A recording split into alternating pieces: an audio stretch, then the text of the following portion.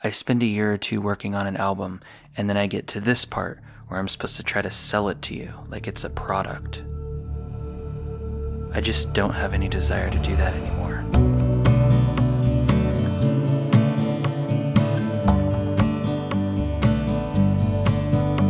I just want to keep my head down and move toward a place of ongoing creation, like the way that a stream is always flowing. Someone stops to drink from it, that's great, because that means that the stream is useful.